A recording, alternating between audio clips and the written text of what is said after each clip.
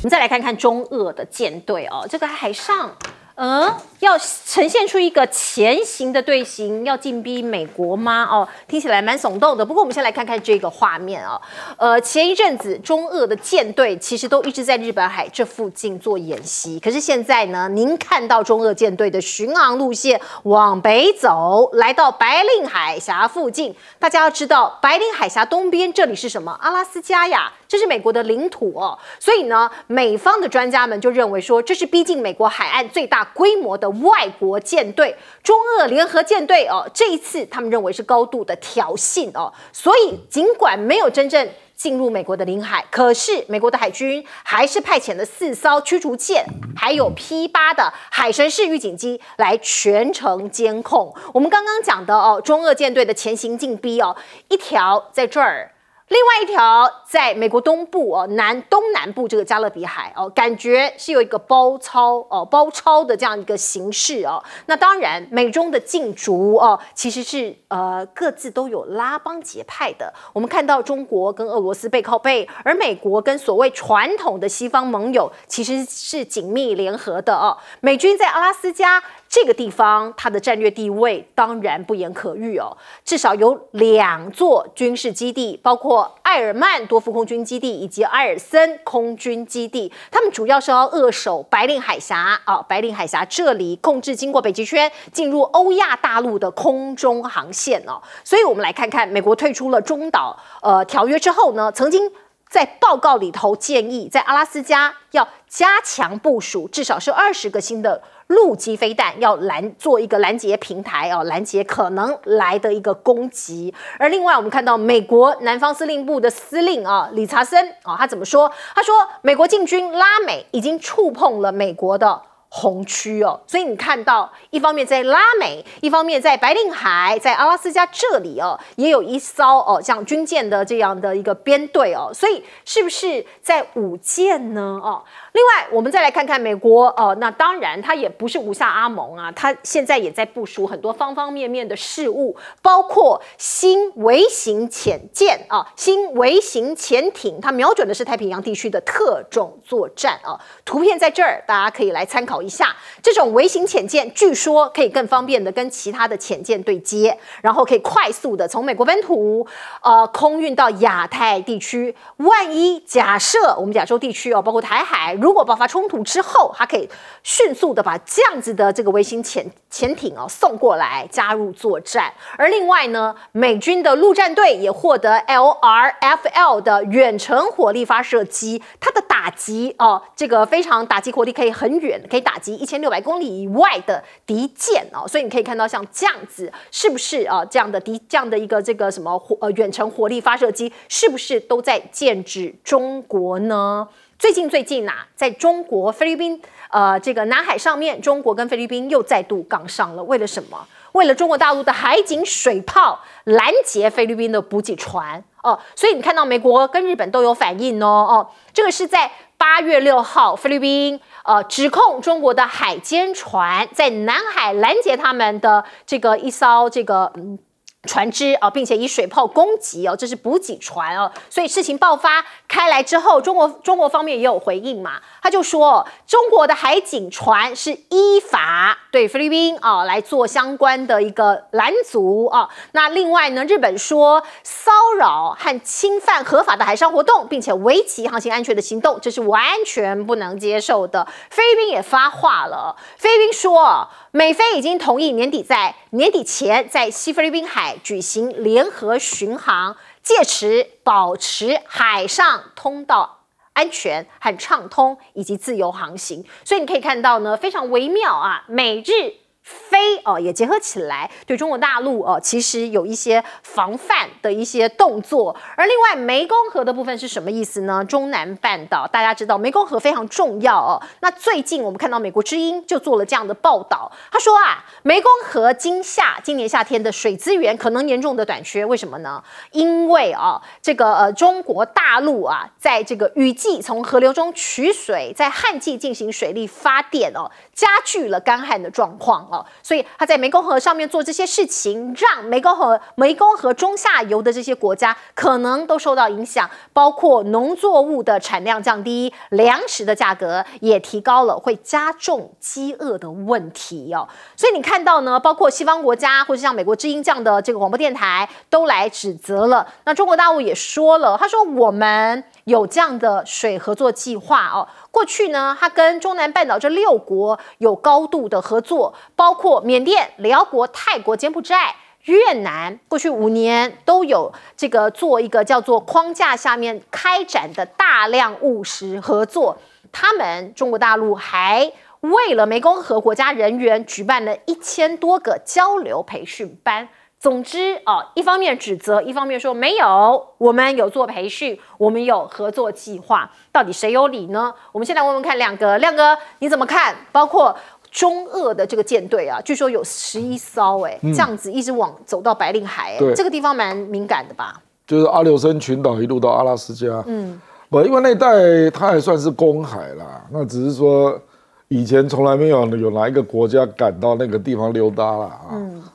那我觉得主要是因为美日联盟的强化，所以让俄罗斯不爽啊，所以他就邀，事实上他跟他这跟中国的海空联合巡逻，在日本海已经今年就已经三次了啊。那这次是从日本海北部开出去，我没有想到一路就 就开到这里了，开很远 呢。这个。这个当然，我坦白说了，如果过了白令海，是，然后到那个北方的海域啊，不北冰洋那一带啊，事实上你就会发现，从中国到美国最近的距离是走北北方，嗯，因为地球是圆的，是。啊，你如果从南太平洋要到美国，反而很远哦，啊，所以我觉得这个搞不好会常态化，因为如果美国跟日本那个联合演习越来越成常态。而且日本现在对俄罗斯敌意也很深呐，啊，我觉得这个可能会常态化，嗯，比如说一年一次，然后一年两次这样啊，所以这个就是一个新冲突点啊。可是这个就是早晚会发生的状况啊，因为真的比较近了啊。嗯，那至于那个美国那个南方司令部说什么中国也进入南美洲，那个就扯太远了。嗯，中国的军队哪有进入南美洲？就了不起盖个。那个侦察卫星的基地在阿根廷这样是，所以我觉得这个扯太远了啦。这个你应该说有可能呐，他的军舰有可能去南美洲做顿幕啊。嗯哼，哦，那美国就把这个解读为解读为进驻南美洲自己家，这个这个扯太远。美国是警铃大作啊。呃，这个太紧张了啦。这如果说连顿幕都不行，那这不不太可能了啊。那个菲律宾是这样啊，因为。他那个四艘渔船是在仁爱礁，然后中方认为他侵入他界定的地盘，是。坦白讲，那个地方就是有主权争议嘛，嗯。啊，那结果他就打水炮驱逐了，嗯哼。啊，那美国就立刻进来了，就跟菲律宾讲说，我陪你去，啊，我罩你，哎对，所以这里现在有一点敏感啊，嗯，就说菲律宾真的敢 跟美国一起去仁爱礁走一走吗？我我看目前这个氛围。中方不会客气哦，我认为水炮一定照照常，嗯啊，那到时候就考验美国要如何应应啊，嗯，因为这个地方嘛，因为你也知道那个南海行为准则，今明年可能就会进入决策阶段，事实上现在只有菲律宾还没签呢，嗯，其他国家大概都谈定了。啊，那菲律宾就卡在美国嘛，那当然就是争议岛屿，那中方也要给菲律宾一个说法。我认为一定会给他一个说法，因为中国大陆没有必要在这里就卡住了。是，所以共同开发，我觉得就是细谈吧，要怎么处理？因为印越印尼就那个纳土纳群岛那边也是重叠啊，那已经谈了，嗯，所以我认为弹性还是有。是，来请教岳老师。是的，嗯这个我不晓得大家记不记得，就是这个美国曾经选总统的时候，有个副总统的候选人叫佩林啊。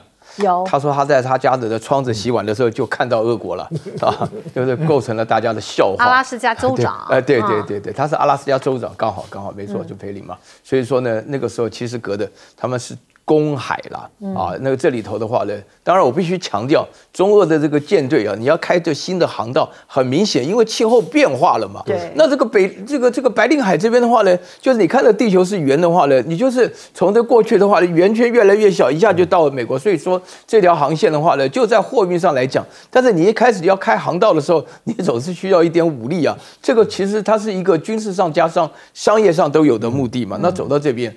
那美国本身来讲的话呢，他们是强调就是整个这个美国自己的势力范围，就是两两洋之间都是他的，别人都不能进来啊。那个这是美国的这个地缘军事上非常重要，从十九世纪的门罗宣言开始就是这一套。所以说你现在的话呢，他就会把这个议题啊讲得非常明显。这个最主要的目的就是要让人家感觉上哈，就是。俄罗斯跟中国基本上是故意的要来挑衅，那实际上的话呢，有这种感觉的话呢是没有的。但是菲律宾的情况跟大陆就很不一样哦，因为他们都涉及到主权问题啊，就是大家闭着宣，原来啊，就是说是南海行为准则当中的话呢，菲律宾是跟美国叫过苦的，说我们也没什么办法，我们也不可能让美国讲说来老大罩你。所以在这种情况下出现这种现象，突然之间勇猛起来，那菲律宾本身来讲的话，就是说能。够做到什么程度，就是看美国的意思。所以菲律宾说要停就停，很快啊。所以你现在讲到仁爱礁那些破船呢，上面摆几个人在那边，实际上问题影响不大。美国这个美国非常清楚，就是拿菲律宾当棋子来挑衅中国在南海的地位，就这么简单。所以这个现象的话呢，我们可以说延续来讲，就在中国叫澜沧江啊，在这个下去的话，东南亚叫湄公河。嗯哼。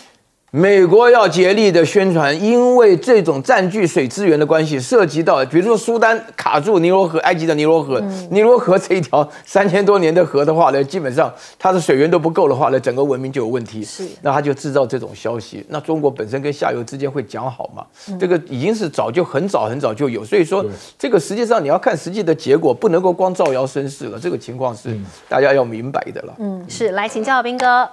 我是觉得。中二舰队去，其实它离美国领海还很远，很远那那你把它讲的跟真的一样，那如果你你这样子都哇啦哇啦叫的话，那那你每天到到台湾海峡、到南海、到东南关，请问一下，那你算什么？那你如果可以自由航行，为什么别人不行？我觉得这个实在没什么道理。那至于说什么从加勒比海包夹，目前根本没这种事啊，哪有这种事？他顶多只是现在跟古巴关系比较好一点而已，就是这样子。那跟中南美这些国家确实关系在改善。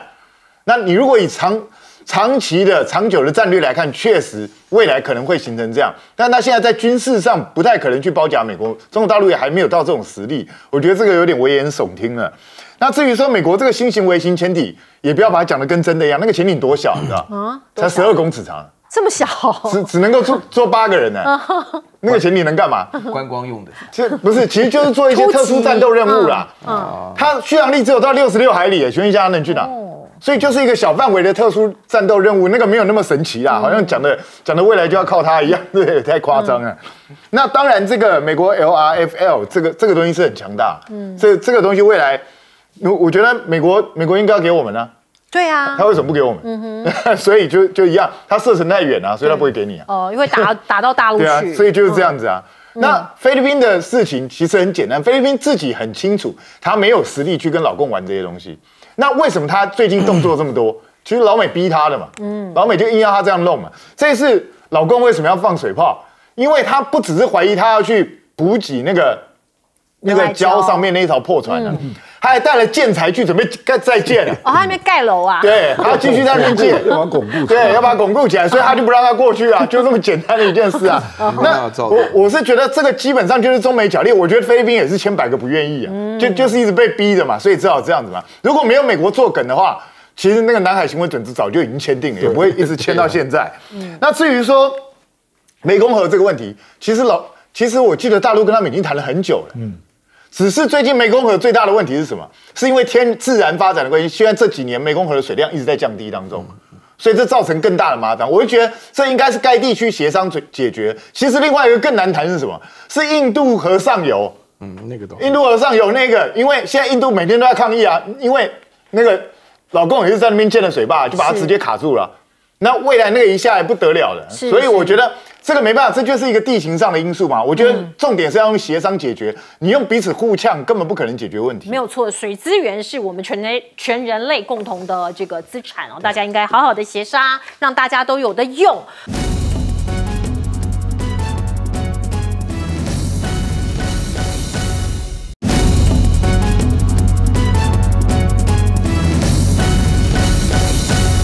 我们先来看看呢，Fox News 哦，美国的这个福斯新闻网突然大爆料，他说啊，哎，拜登政府里头可能有内奸哦。他回溯到二零二一年一则新闻哦，他说那个时候呢，拜登本来要宣布动用战略石油来应对那个时间点的高油价的前几天哦，突然哦出现了这个包括美国能源部长还有这个秘密跟中国国家能源局局长张建华的对话哦，所以很奇怪。这次还没发布，就已经知道了拜登会做什么哦。那中国是不是可能有这个间谍已经渗透到美国政府里头了呢？哦，那包括呢这个石油的储备、石油的战略，它的重要性不言可喻啊。那另外，晶片又是一个新形态的战争，美国不断的在扩大。晶片的限令，南韩是不是现在开始发生哦很多很多各方面的危机的警讯了呢？包括韩韩国媒体说啊，美国管制中国大陆晶片的产量。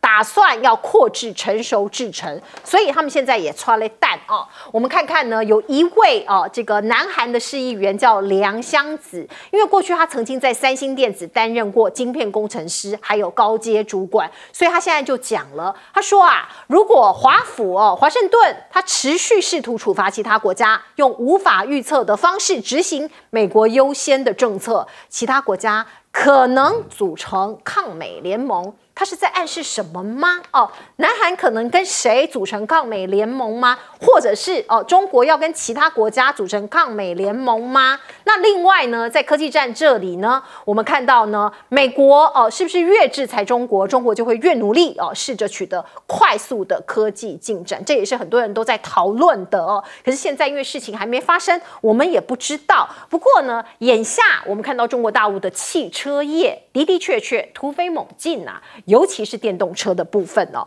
您看到的这个报道，包括中国汽车技术是西方的下一个打击目标吗？有一个问号。为什么？因为西方世界，包括美国、英国，都开始在警惕了。你看，英国的前内政大臣彭黛林，他就说，中国的电动车已经构成了类似华为的威胁。美国的运输部部长布蒂吉格他也说，中国的自动车引发国家安全的担忧，暗示自动车技术可能会成为美中的新战线。因为啊，这个中国大陆现在的这个电动车的这个不仅是做得快啊，然后呢，它的价格也比较低，所以你可以看到市场上面大家都已经把它当做头号的对手。包括过去大家觉得特斯拉是一个很厉害哦，或者是这个呃这个不管在占比呀，或者是呃市场上面都非常的强。可是呢，德国媒体就说啊，包括过去传统的油车的德国车，它的高获利时代已经结束了。中国汽车超级大。国国时代来临，这是来自于德国之声的报道，这也是一个大的媒体，它的报道内容是这样讲的：他说，全球每两辆电动车就有一辆是在中国行驶，德国电动车已经没有办法跟中国本土品牌竞争，所以中国只把特斯拉视为真正的竞争对手哦，他已经看不上其他的。这个制造汽车的这个呃国家了，只有特斯拉是他的对手。而另外，我们看看中国的速度在线哦，这个也是让人 让人觉得非常惊叹的哦。比亚迪第五百万辆新能源车即将下线哦，这个是二零二二年去年十一月那个时候，比亚迪已经完成了第三百辆电动车下线的目标。如今才短短的半年多，第五百辆的电动车将在八月九号正式下线，只用了九个月。就生产了两百万辆，等于平均每天生产七千四百零七辆哦，真的是吓死人！大家觉得很可怕。好，来我们看亮哥，亮哥你怎么看？下一个战场是汽车吗？是电动车吗？我电动车，美国也没有办法制裁中国啊，因为他所有的技术都自己做的。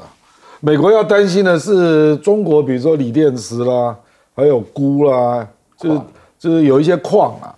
那电动车未来可能还会用到一些稀有金属，嗯，美国担心的是这方面被制裁啦。哦，你怎么可能制裁得了中国嘞？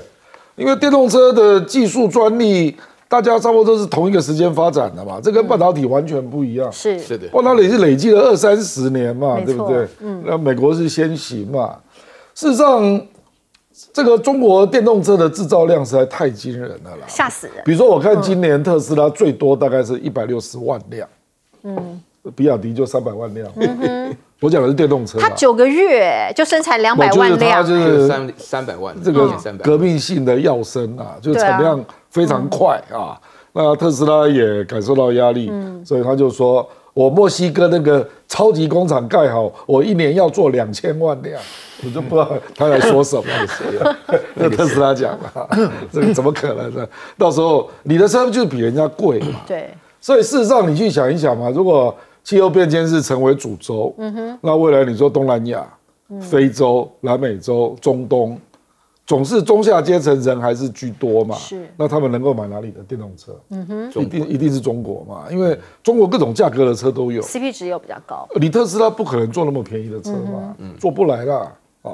那所以我觉得美国这个就是疑神疑鬼啦。事实上，英国已经疑神疑鬼到说中国的电动车都有装监视器，哦，真的哈、所以就沿路开沿路拍啊，所以还在收集情报。所以他们有可能制裁，像是不，他们就开始释放这种讯息，嗯比如说英国某某人就开始释放这讯息，那到时候是不是有哪个国会议员就开始咨询那有可能。我说那个中国的电动车会偷拍我们的东西啦，所以不准他进口。造成国安疑虑不，。美国这种国会议员很多啦，嗯，他程度跟我们国会议员也没有差很多啦，总是有这种人呐，啊，总是有这种人。事实上，上次那个龙门架不是也被质疑？哦，对，嗯，中国在港口那个龙门吊，没错没错，那个吊吊臂啊。人家说他也在收集码头的情报。对对？对，乔氏起重机啦。不然你如果都是用那种政治的幻想，嗯，那中国做只要做赢你的，你大概都可以这样去，就他只有用这一招去防堵人家的出口了，嗯，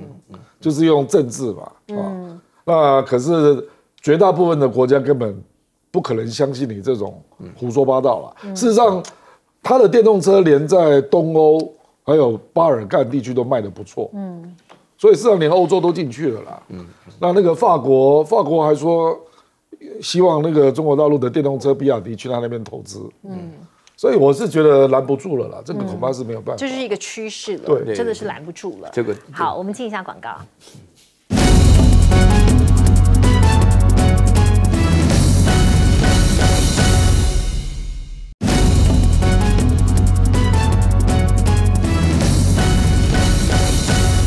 接下来请教苑老师，请他谈一谈新能源车。对这个新能源车啊，其实有两三个关键的因素啊。第一个就是刀片电池的突破啊，那个就是宁德时代啦，或者比亚迪、王传福他们自己在电池上都是极大突破。那剩下的话呢，就是电池架子安上四个轮子，这就是新能源车。然后第二点的话呢，就是呢，大陆本身呢先控制好，尤其是南美洲的锂矿，就是 A、B、C 了，那个 A 是阿根廷了，B 是玻利维亚，C 是智利啊，他们产锂矿老早就控制好了，但是说量是够能够生产是一线，就是自己完全是自主。然后第三点就是由国家才行这种弯道超车，发展电池，发展新能源车。因为大陆感觉到德国跟日本的这种传统车，他们没办法比，所以就采取新能源车。新能源车呢，请大家呢得空，因为在台湾不太可能进口大陆的新能源车，哈，这个你也看不到。但是在大陆的时候，你只要一打车一叫车的话呢，绝对是新能源车。哦现在都新是啊那绝对是的，绝对是。哦新能源车的话呢，第一个就是它上牌很快嘛，是对不对？然后第二个的话呢，它很便宜呀、它每一天的话呢，就是几十块钱就开开够了，就赚钱了。然后第三点的话呢，就是最重要就是它自己的内部的装潢用到的这种价钱。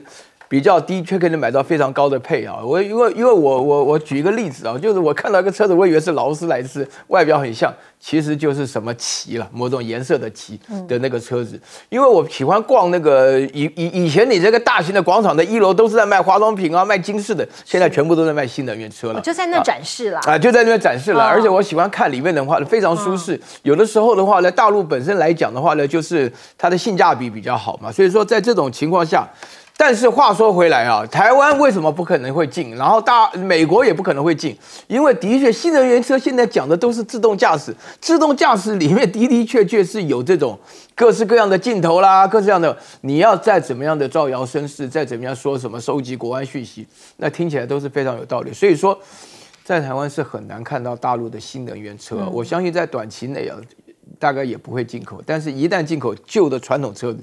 我现在告诉大家一个讯息啊，就是说 Volkswagen 嘛，就是说德国的大众汽车，嗯，在大陆卖的大众车比在德国便宜将近半价，恐怕半价都还不到。为什么？旧车、传统车这个油车非要降价不可，否则没有任何的竞争力可言。现在的话呢，新能大陆的新能源车唯一的对手，你讲的没错，就是特斯拉。所以说，特斯拉现在的发展对于。这个大陆的新能源车来讲的话呢，的的确确还算是有一点威胁感。但是大陆现在基本上很少听到有人说生产传统能源车的，这里面就是整个弯道超穿超车已经成功了。最后我要讲一个非常重要的观点，就是做大陆的这个新能源车，现在可以到达续航力上千公里的，上千公里。因为我们现在油车的话呢，加满两个五百就要加两次，那上千公里的话呢，另外一个最重要的消息就是说。当你让大陆自己内循环它的新能源车的时候，久而久之，它的生活水准明显超过你。以前我们都会问大陆有没有见过这个，有没有见过那个。以后大陆人的话问台湾人有没有见过这个，有没有见过那个，你到那个时候就知道太来太晚了，就整个颠倒过来了。嗯，来，我们进一下广告。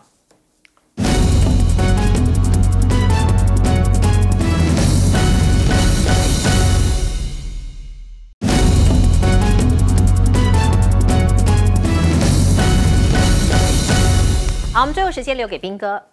我是觉得你光是说预估到美国可能会释放战略储备石油，就认为说它一定有内奸，我觉得这个有点过分武断。因为有的时候人家也会评估你大概都会预测嘛，你大概某一个阶段你会做哪一些动作嘛，就是刚好被人家预测到了。如果你直接就要说这样是有内奸，那我觉得美国愿意去查就用力去查，看你到底说能够查到谁。那至于晶片这个东西，我我觉得南韩这个议员讲的很实在。也就是，其实中国大陆前两天才有个讯息，就是它的 DUV 二十八纳米啊，它已经可以做，年底就要可以直接上线。那所以你现在连成熟制程都要去卡它，那苦到是谁？苦到就是苦到南韩嘛。嗯，那 那南韩当然千百个不愿意。他们南韩这两年的经济已经非常严重了，那你还要配合美国去做这种，而且完全没有意义的事情，因为中国大陆根本自己已经会做，那你再去卡它的意义本身到底是什么呢？所以我觉得美国的战略自己要去调整。其实很多人建议说，如果你要卡的话。就真的要你很多细项的东西全部给他卡，嗯，那那才会真正有用。不然的话，你细项那一堆不卡住的话，只只卡这些什么 DUV 啊，卡这些东西，其实不见得能够卡死中国大陆。因为中国大陆自己也早就知道你要去对付它，所以它早就已经在处心积虑在研发这种东西了。那至于这个电动车这个东西，我个人是认为啦，以现在目前的发展来看的话，刚刚岳老师已经讲过，日本本来有这个机会，结果他们走错路了。嗯，那美国。它在先天上就不可能跟中国大陆去竞争这种东西啊，因为它的成本本来就比中中国大陆多很多嘛，所以特斯拉未来大概就是在高端市场，而且现在有个警讯，就是因为特斯拉已经长达六年没有改款了。它在全世界的销售都开始呈现下降，因为疲乏了。对，大家觉得你都都没有推陈出新了，所以特斯拉自己要赶快推展出新的产品，才有重新有竞争力。那中国大陆，因为刚刚岳老师说过，他有大概八，他随便去看他八九十个厂牌。实际上，中国大陆现在的电动车在中国大陆有四百多个厂牌。哇，四百个厂，这么多！天哪！所以我要讲到八九十，搞乱就四百。他们他们是估计在几年之内，他们就会整合到大概只剩十个左右。嗯嗯嗯。因为大家彼此互相并购嘛，并购之后，然后彼此的实力互相增强，然后到最后就可以在全世界上去竞争。那最近有一个就是全世界前五百大企业，如果以汽车业来讲，中国大陆居然有九个汽车业是在全世界五百大，对对对，已经超过日本跟美国，这个这个是很严重的一个警讯。也就是说，中国大陆光是靠一个新能源汽车，已经把过去几十年人家累积的汽车工业已经完全翻盘了，是就变成一个完全新的产业。而且最糟糕的就是什么？因为它在技术上是。非常遥远的领先，所以就变成全世界现在除了美国的特斯拉之外，基本上欧洲的电车完全没有办法竞争。对，嗯，而且你还必须要依赖比亚迪的一些技术合作，你大概才有办法去生产新的车子。所以这个我觉得英美不管再怎么酸或者怎么，你你们先天已经不具备这个条件了。所以你你再去酸或去制裁根本都没什么意义，反而他反过来担心，就像亮哥说了，你要反过来担心会被人家制裁。嗯，你真我觉得这是很现实的一个东西。那我觉得我们台湾更糟的就是，我们台湾汽车本来。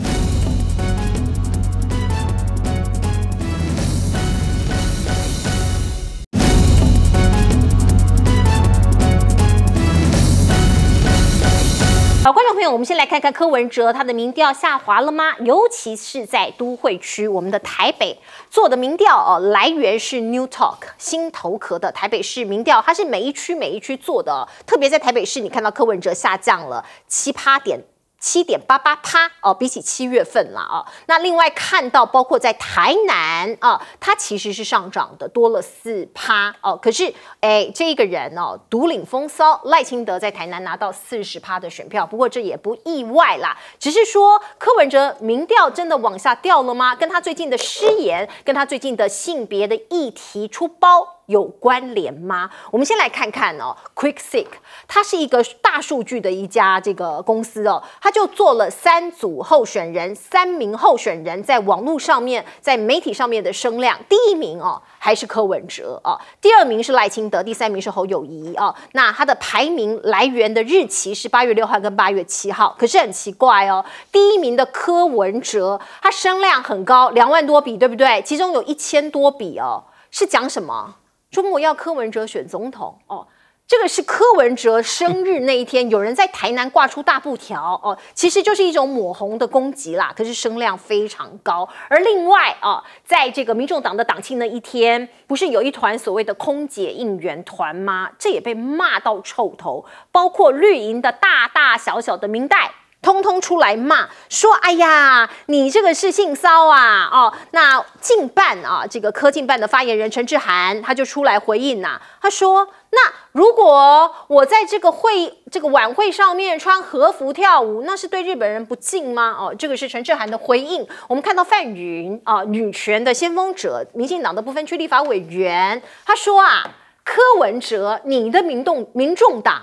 全党病入膏肓啊！范云说，不只是柯文哲一个人，民众党整个党有病啊，病入膏肓，在活动中不自觉的歧视女性。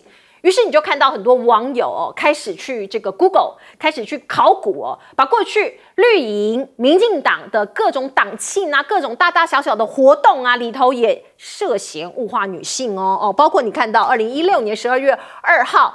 那个地点在台南，那个时候呢，台南市市长叫做赖清德哦，有一个台南国际旅展，你看到空姐大跳这个火热的舞蹈开场，拿着行李箱。是不是跟这个昨天前两天柯文哲造势的空姐应援团几乎一模模一样样，连制服都一样哈？那网络上都可以找到这样的制服哦。必须说，这个就是舞蹈团，他们是专业的表演者，谁给他钱他就去哦。我们今天也看到了这一个舞蹈团，他们在脸书上也发声了，他说：“我们就是专业的，请不要在我身上贴标签。”而另外我们看到的呃，现任的我们的这个呃经济部部长王美花，她在。在十年前还在智慧财产局当局长的时候，也曾经大跳热舞啊！来，观众朋友看一下，哇！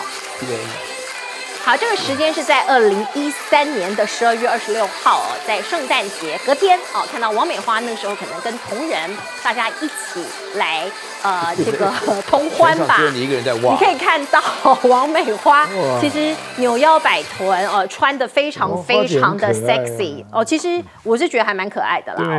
其实没什么，我们要凸显的是女性。不管是女性、男性，各种性别都一样。你有权利，你想做什么就做什么吧。大家是成年人吧？哦，如果你说这些是物化女性，那林香怎么办？我们的直棒的啦啦队员怎么办？以后大家都不能跳了呀，不能穿短裙了呀，不能穿中空装了啊！你秀出这样子的中空装，你就是在物化女性吗？哦。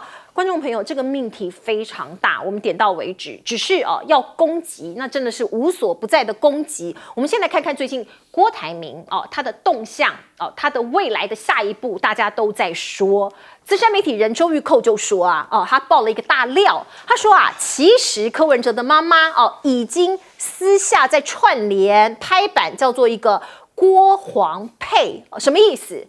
郭台铭要收购民众党，然后跟黄珊珊配选。总统，那这个柯文哲本人做什么呢？做行政院长。好，这个新闻一出来啊，就媒体跑去问柯妈妈，柯妈妈很呛，她直接回应说：“ 我跟你讲哈，你不知道周玉蔻是疯子吗？台湾人都讨厌他，一欧北共啦，好，一威欧北共啦。”那周玉蔻呃寇姐也有回应啊，她说柯妈妈要保重身体哦，啾咪哦，这个还蛮可爱的啦哦，这个变成两个女人的战争。邱毅哦也发话了，邱毅说啊，其实啊，国民党里头有三个人最懂赖清德，这三个人里面没有谢龙介哦，他讲的是谁？他说前台南的市的议长哦李全教，还有台南市议员郭信良也是前，还有一个就是前立委邱毅，我们三个人。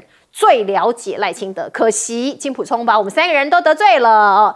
然后呢，这个呃，这个总统大选这一局在野的整合，现在看起来还是乱糟糟的。黄阳明就讲啊，柯文哲为什么专打新潮流？因为柯文哲蛮聪明的，他知道绿营其他派系都对。新潮流不爽，所以他就立刻往这个七寸的方向打下去啊。那另外呢，如果赖清德当选哦，假设了哦，新潮流将是第一次执政哦。这个我们知道，民进党内部有很多很多的派系。另外，于天啊，这个我们知道，于天现在年事已高哦，他在公开场合，昨天公开场合求官呢哦，他求位子哎，我们来看看。改我无算哈，主要就是因为。我较有会啊吼，啊是讲要做一个啊，即个不不分区的啊，啊我有甲即个赖主席报告过啊。过去啊，咱于天余伟讲了无毋对。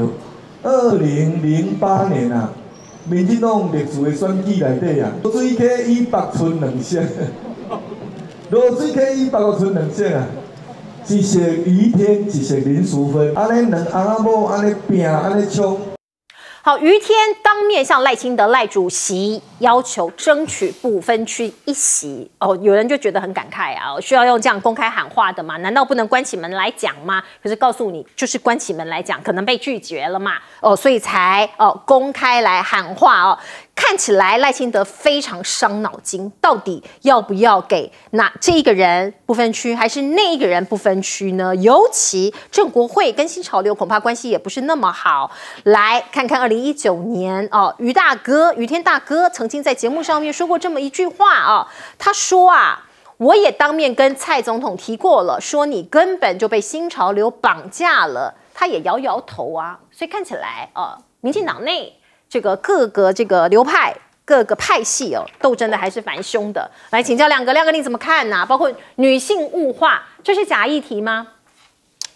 对，是假议题啦。可能只是因为这个可能是选总统啊，所以大家可能期待比较严肃啦。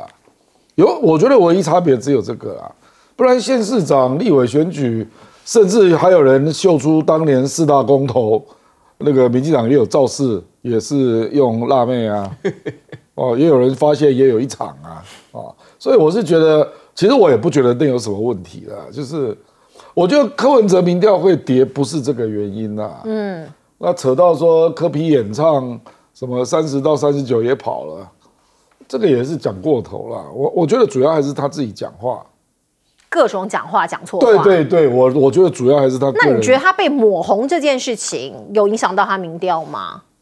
中国要我选总统，我因为那个是在台大医讯他自己讲的，所以你觉得那也不是原因？那多少年以前了，而且而且那个台办可能有一些人跟他这个城市论坛熟了嘛，就当场在开玩笑嘛，说哎呀你也出来选总统嘛，因为历届就台北市长会选总统嘛，嗯，不然干嘛的？伟汉会去期待蒋万安呢？对不对？哈，我我说这个是这种期待是很自然的。所以，我我并不认为，而且那是多久以前的事啊？是啊，对不对？嗯，我我觉得那个基本上关系都不大了，因为柯文哲被抹红也不是新闻呐。从他办双城论坛办八次，哪一次没被抹红？对不对？所以我认为那都不是问题。我觉得主要还是第一个是侯友谊开始恢复正常啊，哦，就逐渐的有一些会回流嘛。那另外一个就是，我觉得有一些人可能。在期待郭台铭出手。哦，因为因为有人就觉得，哎，郭台铭好像真的要选了啊。那第三个就是他失言了，嗯，我我觉得这个应该是比较大的原因啊。不会因为一场造势你就可以拉多少。而且坦白说，那天那个空服员那个主要是因为张志豪嘛，对，因为他本身台北市议员。他本身就是他以前是华航机师。出身的嘛，对，可是我也问了他哦，这一、这一个表演团体，就是我们现在导播看的这个表演团体，那个是主办单位找来的哦的一个一个节目桥段，都是演员呐、他们也不是空服员。啊，哦，不是空服员，他们不是空服员，对。因，为那个张志豪在选的时候，他也有一个这样的，嗯，这样的一群女生的啦啦队，嗯那穿的也蛮接近的，所以，所以我坦白讲，我也不觉得这有什么问题。那张志豪人家议员还不是选上？接近王美花是吧？是是，我我是觉得啊，今年民进党的不分区真的比较紧张啦，因为上次小英是五十八趴，哎，那这次赖清德了不起就四十出头吧？你看这样政党票会少多少会？掉很多席哦。对不对？所以民进党比较保守，估计认为只有十席啊，那最多就是十一，运气好一点十二，所以真的就是要分配难度很高可。是于天这样子，于天大哥这样公开讲，不是有点尴尬吗？不了，他就是表达他跟他太太的期待啊。嗯，其实他他个性也很直啦啊。那事实上，如果赖清德真的当选，他有很多地方可以安排啦，不一定是立委啦。嗯，因为不分区立委这次，我认为到了，因为十一月要登记嘛。嗯，我认为民众党会用这个来当号召哦，这个是有票的、啊。到时候大家会对比的、啊。嗯，对不对？上次那个吴敦义提那部分区不是被人家 K 死了？对，那次吴敦义公布那个部分区，我看国民党至少掉了两个 percent，那影响很大的、啊。是所以基本上，嗯，各党是要比拼部分区的名单的，所以这个也不是开玩笑啦。嗯所以我觉得赖清德有他的考虑，我也觉得合理了。对啦那更何况有派系，那些都是基本款，你能够不提吗？每一个派系据说有一席、对啊，就是有正基本款国会至少有一席啦，对不对？然后现任的人里面也会有一两个要连任吧？那你你想想，这样还这样几席？没有错哦，没这几个啦。嗯，排不分区真的要很伤脑筋，真的没几个要排的很有智慧，不容易了不容易啊！来请教斌哥，我是觉得就是民调起起伏伏，只是这个民调柯文哲一下在台北市掉七趴，结果他居然在台南上涨，非常奇怪。这这到底是什么逻辑？我实在看不太懂。怪怪，还是看多个民调再说了。对啊，所以所以我觉得这个这个就是在观察啦，因为你你单一一个民调，也许它取样出了什么问题或干嘛，不然这个实在是没什么道理。他如果在台北都跌得这么厉害，理论上来讲，他在台南应该要跌更多才对啊，不是吗？所以我觉得这个没什么道理。那至于说去抹红柯文哲，他已经抹红好很多年了啦，也 也不是这这一两天的事啊。我看柯文哲也还好，那会认为他是红的也没有那么多啦。所以我，我个人觉得这个公式。你说网络上也许有一定的声量，可是网络上有声量未必能够会影直接影响到选票，我觉得这是另外一回事。那至于打他这个女权的问题、丑女的问题，讲实在话，我认为这个题目，民进党已经有点狗尾续貂，已经越打越不知所云了，已经已经已经乱打一通。我不知道他们是真的认为这个有效吗？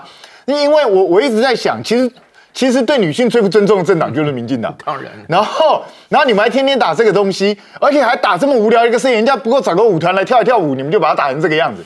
那如果这个东西真的严重到这种地步，连范云都出来说这种就叫物化女性的话，那我想请教一下，你们前一阵子不是要推一个卖飞机杯的出来选立委吗？你们忘记这件事了吗？后来没推，对啊，那你们当初问，哎，讲金门也要他，拿台中也要他，哪里都要他，哎，显然你们觉得卖飞机杯不算物化女性啊？你请问一下，那卖飞机杯不只是物化女性，根本具现化了，好不好？我听了半天才听懂，我以为卖飞机的岳。岳老师很开心啊，对，所以，所以我就觉得你你们怎么好意思去打这个题目？而且民进党过去跳这种乱七八糟舞跳了一大堆，你们 cosplay 了多少？没有错，所以我我真的不知道你们打这个东西干嘛。拉妹助选团也是民进党是啊发明的。，萧美琴当年跳了什么舞？要不要去看一看？赖品妤跳了什么东西？要不要去看一看？所以我，我真的觉得去打这种东西真的超无聊。我觉得他越打，反而年轻人会越反感，对他未必是有利的。嗯那至于说 Coco 姐讲说柯妈妈这个事情，我我是觉得有点瞎在哪里。Coco 姐说她是听蓝营的人跟她讲，对，她说蓝营内部人士告诉她的。蓝营内部人士传出来的 民众党的内幕，这个你也会相信？这个这个会不会太太离奇了一点？你好歹说是柯文哲身边的人告诉你就算，是蓝营的人讲的，所以我我真的觉得这个实在是没有什么参考价值哦。那至于说不分区这个东西，我个人认为啦，于天大哥虽然对民进党真的是劳苦功高了。可是我觉得他这一届恐怕真的有困难。嗯，那他自己也是体验到他真的有困难，应该是不会提名他，所以他就干脆直接讲，嗯，就直接讲，看你看你怎么应付。我我觉得他的想法就是这样子啊。于天大哥现在就是这种人嘛，那就看赖清德自己怎么去面对。嗯，所以他的意思是说，可能赖清德不会选上，因为如果选上有好多位置啊，是啦，对不对？因为选上不是嘛？是不是有有选上有好多位置？如果没选上，才要争取不分区嘛？你你要知道很多。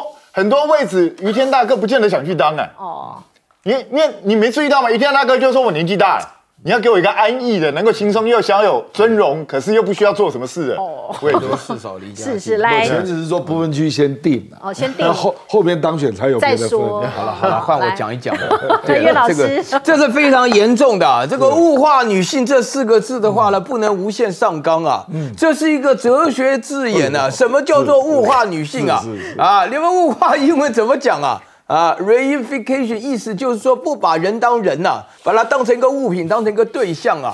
这个事情真的不能用，因为现在尤其是我这位同事啊，这个范云啊，你好好搞你的社会运动就好了，你不要开口闭口就物化女性，你这个是你讲任何话都无限上纲，有价值判断。你要助选就助选嘛，你现在打这个物化女性，现在我们在学校里搞到女生打扮，没有人敢说漂亮了。他 就说漂亮都物化女性啊，那个眼睛就闭上眼睛啊，管你是谁，呃，现在是男是女都不重要了，重要的是一个人就好了，其他都不敢讲了。